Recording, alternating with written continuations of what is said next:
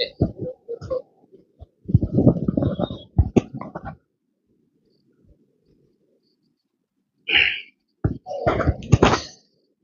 الله الرحمن الرحيم.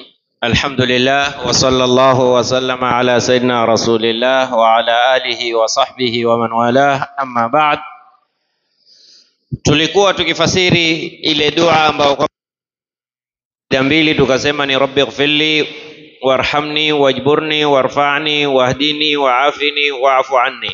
Kuna na warzuqni. Maneno manane. Tukielezea maana yake hii dua kwamba rabbi ighfirli e mola nisamehe dhambi zangu. Na imetangulizwa maghfira kwa kuwa umuhimu wa kitu ambacho kwamba mtu ataka aishi hanacho ni dhambi. Kwa hiyo saa zote yatakiwa mtu awe amuomba Mwenyezi Mungu Subhanahu wa Ta'ala amfutie dhambi zake. Mtume sallallahu alaihi wasallam asema inni la astaghfiru kulla yawmin mi'at marra, mimi kila siku naleta istighfari mara mia, naye hana dhambi, lakini kuonesha huku kuleta istighfari tu ni moja katika rutba daraja za kuingia katika vipenzi vya Mwenyezi Mungu. Mwenyezi Mungu asemaje? Inna Allaha yuhibbu tawabin, Mwenyezi Mungu apenda wenye kutubia tubia. Usiangalie umefanya dhambi, angalia tu kwamba ile ibada hujaifanya itakiwavyo. Subhana kama abadnaka haqa ibadatik, malaika wanamwambia Mwenyezi Mungu hatuja kuabudu utakiwavyo, na wao malaika la yasuna Allaha ma amarahum. Je, mimi na wewe? Kwa hiyo toba ani taksir, toba kwa kuwa hujakamilisha kile kitakiwacho, mbali ya toba juu ya madhambi. Rabiatul Adawiya, mwanamke mcha Mungu huyo alikisema, istighfaruna yahtaju ila istighfar. Hizi istighfari zenyewe pia tuastaghfiru sampuli sampuli, yahitajia istighfari asa, lakini insha Allah Mwenyezi Mungu atatusamehe dhambi zetu. Wa qul istaghfiru rabbakum innahu kana Subhanallah, Mwenyezi Mungu katika sifa yake akikwambia fanya jambo, kwambia kwa sababu mimi kazi yangu ni kadhaa. Wallahu yuridu an yatuba alaikum, Mwenyezi Mungu yeye mwenyewe ataka ataka kutufutia dhambi, ataka sisi kututubia, lakini sisi wenyewe Mwenyezi Mungu atatu, atatusamehe dhambi zetu. Astaghfiru rabbakum, mtakeni msamaha mola wenu, innahu kana ghafara, yeye ni mwingi mwingi wa kusamehe na akikusamehe yursili samaa alaikum midrara, atakuteremshia, ataifanya mvua yenye kuteremshia wewe midrara, mfululizo. Na mbinguni hakuteremki mvua tu, mbinguni huteremka mvua, mbinguni huteremka riziki, mbinguni huteremka rahma, mbinguni huteremka mahaba, mbinguni huteremka afu, msamaha, mbinguni huteremka jingi, huteremka na ndio katika hadithi al-Qudsi Mwenyezi Mungu alimwambia mwanadamu, abdi khairi ilaika yanzil, mimi kuteremshia khairi, wewe hunipandishia shari. Ayo salala, basi hal jazao lihsani illa lihsan, mimi nakuteremshia afia, mimi nakuteremshia upendo, mimi nakuteremshia amani, mimi nakuteremshia uzuri, mimi nakuteremshia kikadha, wewe basi huna cha kunipandishia ila mabaya. Subhanallah wayumdidkum biamwalin wa banin, ukileta istighfari Mwenyezi Mungu hukupa mali na mali watu huona ni senti tu. Afia ni mali.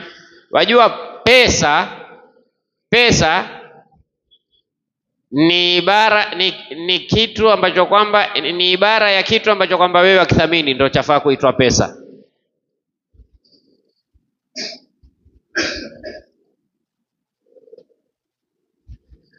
Sasa wewe angalia wathamini kitu gani?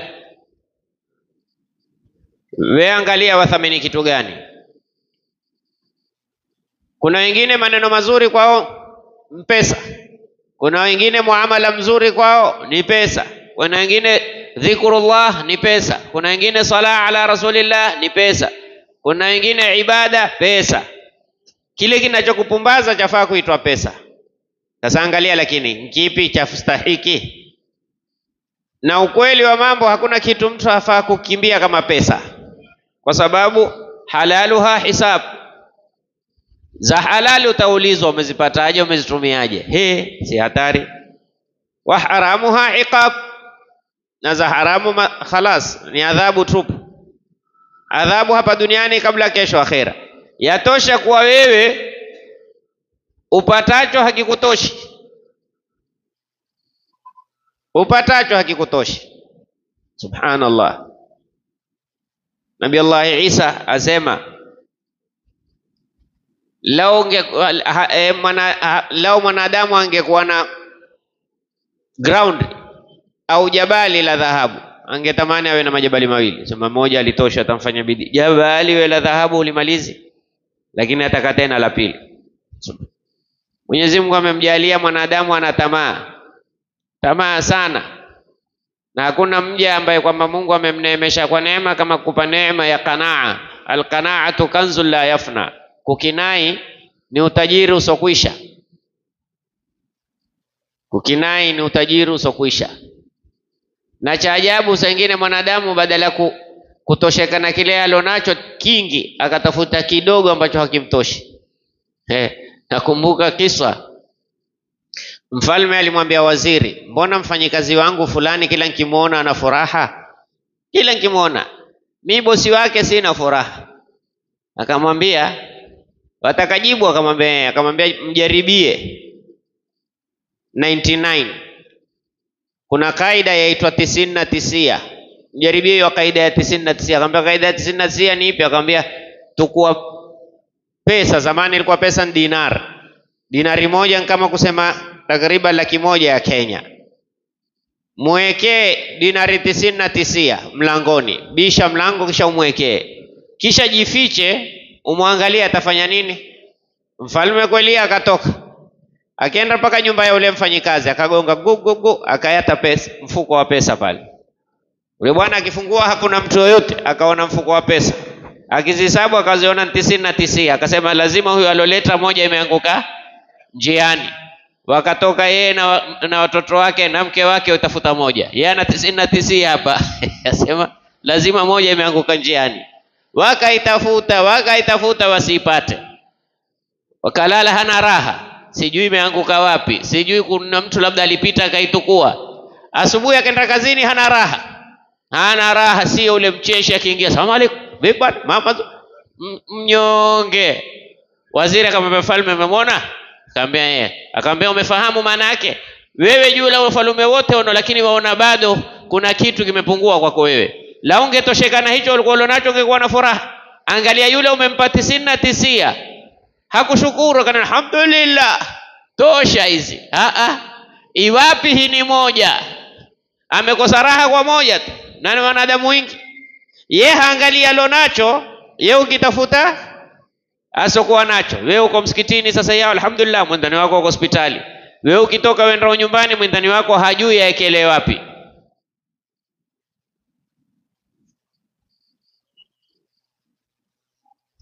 hajui ataekelea wapi wala chakula atakipata wapi. Sasa mara nyingi sisi binadamu hatuangalii tulonacho, tukamwambia ya Rabbi, alhamdulillahi kwa hichi, mwambia ya Rabbi ami, manake huwa kama ule Juhaina. Mtume swalla sallam alielezea kwamba mtu wa mwisho kuingia peponi ni Juhaina. Ukisoma historia ya huyu Juhaina tamu sana. Huyu Juhaina atakuwa amewekwa mahala huiona tu ile pepo, mwambia basi ya Rabbi, hata harufu nsisikie basi ya pepo, basi harufu tu tosha, kisikia harufu mitosheka. Mwenyezi Mungu atamjalia awe usikia harufu ya pepo, basi mwambia ya Rabbi, basi pale mlangoni tu usinitie ndani. Mwenyezi Mungu amwambia, mimi najua utaomba nyingi. Ah, ah, ukiwa kwenye mlango wa pepo tosha, si haba. Akiingia basi ya Rabbi, kwa hapo ndani. Ndio binadamu. Binadamu hatosheki. Sasa Mwenyezi Mungu akikujalia wewe ni mwenye kutosheka, na ndio ukaona. Mungu Mwenyezi Mungu katika Qur'ani kila wengi amewasifu kwa, kwa sifa mbaya, kila wengi aktharuhum la ya'lamun aktharuhum la yaqilun aktharuhum fasiqun aktharuhum kafirun, lakini akasema wa qalilun min ibadiya ashakur, ni wachache wenye kushukuru. Leo hapa msikitini ukauliza nani leo asubuhi ngaa amesema Mwenyezi Mungu alhamdulillah alladhi ahyani baada ma mata. Si haba mmeinuka. Kuna mwandani wako mpaka sasa atarajiwa kuinuka. Kuna mwandani wako hajulikani uko haya umekufa. Qalilun. Na ndio ibada peke yake Ibilisi alitukwa ahadi, mimi nitapigana na waja, sipijani na wa, wate waswali swali. Ibilisi ajali, wewe swali tu, wate wasome Qur'ani. Lakini je, ukiswali wamshukuru Mwenyezi Mungu, alhamdulillah, Mungu akaniafikia nikaenda nikaswali, alhamdulillah, Mungu akaniafikia nikamsalimia mzazi, alhamdulillah, Mungu ameniafikia nikamuomba. Ah, utafanya bila kushukuru? Wala tajidu aktharuhum shakirin mi nitafanya bidii, waja wako wengi watakuwa huwapati mwenye kushukuru shukuru. Subhanallah. Sasa muombe Mungu msamaha. Sasa mbinguni zitakumbela mwalimu wa banini, mbinguni uteremka, Mungu akakupa mali akakupa vijana. Sasa katika kupewa mali, moja katika aina za mali ni Mwenyezi Mungu kukuafikia wewe ukakinai, ni mali pia ile, ni utajiri. Utajiri si kuwa na kingi. Waswahili kuambia utajiri ni moyo, utajiri ni moyo, au kutoa ndio moyo, sio? Kutoa ni moyo, kutoa ni moyo, si kuwa nacho. Rabbi ighfirli warhamni, na unirehemu. Na kurehemewa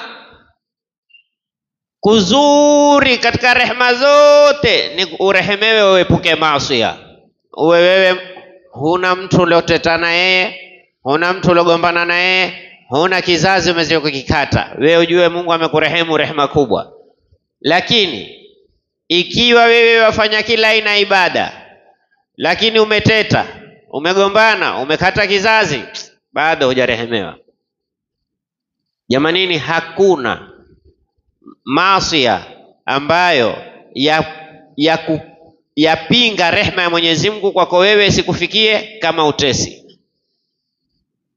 Angalia Jumatatu, Mwenyezi Mungu huteremsha msamaha, lakini akaambia walioteta wa msiwasamehe, wangojeni waangalie, wakis, wakipatana wasameheni.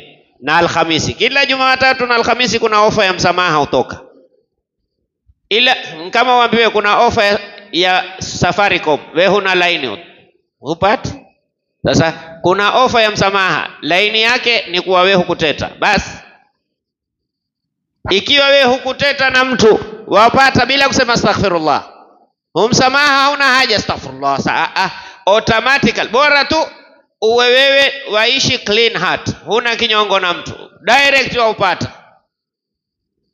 Kuna bojo kama hili kuna neema kama hini basi uwe roho yako wewe huna kinyongo, usichukie mtu, chukia mambo. Basi anaofanya maasi kwa mtazamo wako wewe, chukia yale anaoyafanya, usimchukie yeye,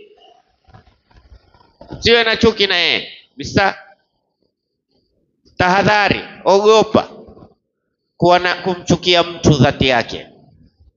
Sasa rehma ya Mwenyezi Mungu ukitaka kumuona, ukitaka kujijua wewe Mungu amekurehemu, jiangalie. Mungu akuepusha na maasi. Subhanallah, kuna waja kila wakipanga kufanya makosa hawafikiwi, hao ndo wamerehemewa.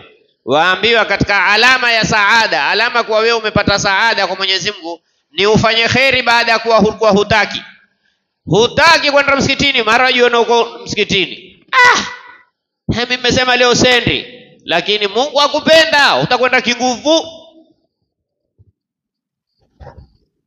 Hii ni alama kubwa ya saada, na alama mbaya ya shakawa ni kila ukipanga kufanya kheri hufanyi.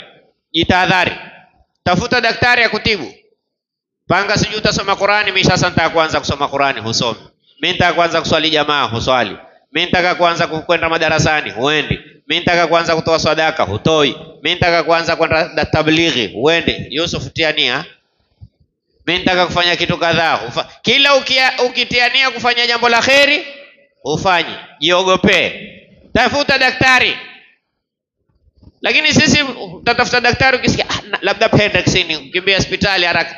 Ya akhi, maradhi ya mwili huisha kwa kufa, lakini maradhi ya, ya mabaya haya huanza kwa kufa. Kadhalika kila ukipanga wapanga kufanya mabaya hayafikiwi, na kila ukipanga usifanye, yani usifanye mema, wafanya kinguvu. Hii ni alama nzuri sana, alama nzuri na kubwa zaidi ni kuwa Mwenyezi Mungu Subhanahu wa Ta'ala aujalie moyo wako ukikosa kufanya taa wakosa raha. Hii ndo alama kubwa zaidi. Kuna watu hawali ikiwa hawakuswali kablia, hawali ikiwa hawakuswali baadia, hawali ikiwa hawakumtaja Mwenyezi Mungu, hawali ikiwa hawakujulia majirani hali yao. Yaani akikosa kufanya kheri anakosa raha, siku ile hana raha. Oh. Ndo Mtume sallallahu alaihi wasallam akatwambiaje, idha saratka hasanatuka wasaatka sayiatuka jibu fa anta mumin. Na basi hapo tu jiangalie wewe, unapofanya jambo la kheri wafurahi vipi? Siku ya kupokea mshahara na siku ya kutoka kuswali ziko sawa? Kila mmoja ajipime. Lau wewe umetoka msikitini kuswali, akaja mtu akakupa laki moja, utafurahia ile laki au utafurahia kuwa watoka kuswali? Kila mmoja ajiulize hapa. Yakhi, imani kila mmoja, mizani hatukuweka kupimiwa watu, tumeweka tujipimie sisi wenyewe, bali lisano ala nafsihi. Yule mmoja alikuja kwa Saidina Ali akamwambia, ya Imam, mimi nitajijuaje kuwa mimi ni mtu wa akhera? Mimi ni mtu na mtu wa kupenda, yani naipenda akhera. Akamwambia, akaja mtu akikuomba shilingi mia, kisha akaja mtu akakupa shilingi mia au zaidi ya mia, Utaf, utafurahia wapi katika wale wawili? Ulompa walokupa? Sema kweli, amekuja mtu akakupa laki, akisha kukupa tu akaja mtu basi, genya na mimi angalau elfu moja ukatunda na wewe.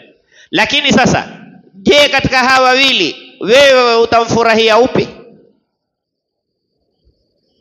Aliyokupa eh, sema kweli, mpenzi wa Mungu, yule amekupa dunia, yule alikupa laki moja, yeye amekupa dunia, kwako amechukua nini? Akhera. Sasa wewe umeifurahia dunia, sawa sawa, hata mimi lakini Saidina Ali akataka kutuwekea la yataka umfurahie ule uliompa, kwa sababu wewe umempa dunia, kwake yeye umechukua nini? Hichi ndio kipimo, hichi ndio kipimo. Leo anayetuomba siku ya pili ukimwona wafanya kuangalia tu, kama alikuwa umepiga full light wapiga dim, wengine upiga off kabisa, akawa mimi kichwa, kumbe hataki kikumuona ule. Lakini ukimwona ule akupae tena umuone ile ukimwona ametia mkono mfukoni, eh, mwingine leo furahia dunia. Subhanallah, Mwenyezi Mungu atupe kila la kheri. Athmani, umesahau leo, atuepushie kila la shari, tujalie min alladhina yastami'una alqawla fayattabi'una ahsan. الله أكبر الله أكبر أشهد أن لا إله إلا الله.